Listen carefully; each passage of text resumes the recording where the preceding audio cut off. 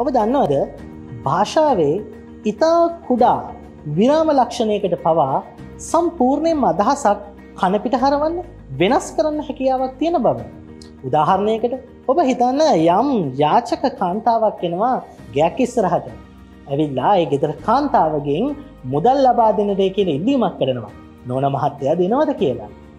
මේ යාචක කාන්තාව කියන ප්‍රකාශයේ ඇය කොමාව යොදන්නේ කොතන්දර කියන කාරණාව මත මේ ගෙදර කාන්තාවගෙන් මුදල් ලබා ගන්නවද එහෙමනැත්නං විහදයක් ලබා ගන්නවද කියන එක තිරණය වෙනවා. විරාම ලක්ෂණයකට පවා එච්චර ප්‍රබල බලයක් අපේ භාෂාව තියෙනවා.